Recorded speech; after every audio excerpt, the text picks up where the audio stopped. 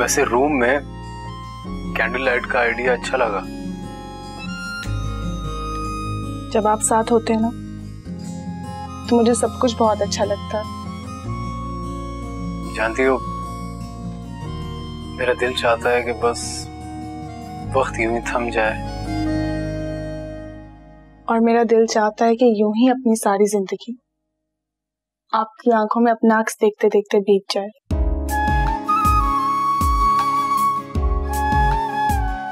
प्यार करती हो ना मुझसे? बहुत से भी बहुत ज़्यादा। जानती हो मुझे तुम्हारी कौन सी आदत सबसे ज़्यादा अच्छी लगती है? कौन सी?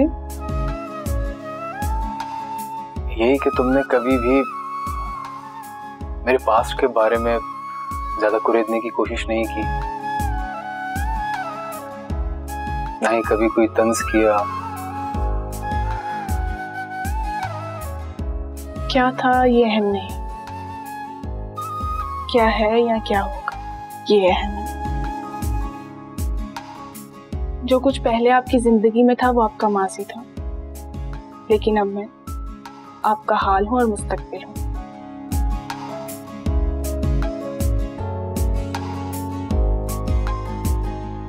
तुम वाकई मेरी अंतुल हयात हो। शुक्रिया मेरी तवक्को पर पूरा उतरने का। अच्छी लग रही है ना?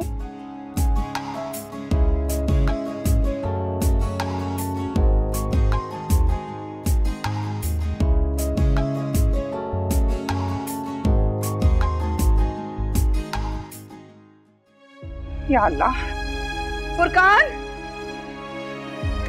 फुरकान, दरवाज़ा खोलो। फुरकान, तुम्हारे बाबा की तबीयत पता नहीं क्या हुआ, तुम उनको हॉस्पिटल लेके चलो, बस जल्दी चलो।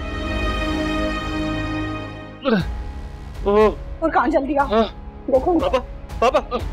मम्मी इनकी तबीयत तो बहुत खराब लग रही है। एक काम करते हैं हॉस्पिटल ले चलते हैं। मैं गाड़ी जल्दी जल्दी जल्दी जल्दी गाड़ी निकालो। हाँ, मसीह, मसीह, परेशान मत हो अभी अभी अभी हम जा रहे हैं हाँ सब ठीक हो जाएगा? जी? फुरकान जल्दी करो! कहा भी था कि अपनी सेहत का ख्याल रखें, लेकिन नहीं। किसी की सुननी नहीं है उन्होंने। और अम्मी जी को देखो जरा। हॉस्पिटल वो इसलिए नहीं जाने दे रही थी कि उनको लगा शायद गैस्ट्रिक है। अब तुम चुपचाप यहाँ क्या खड़े हो? जाओ, डॉक्टर से पूछो तो सही। और परेशान होने की ज़रूरत नहीं है। खुदा ना खास्ता कोई दिल का दौरा नहीं पड़ा है, अभी बाहर आ जाएँगे।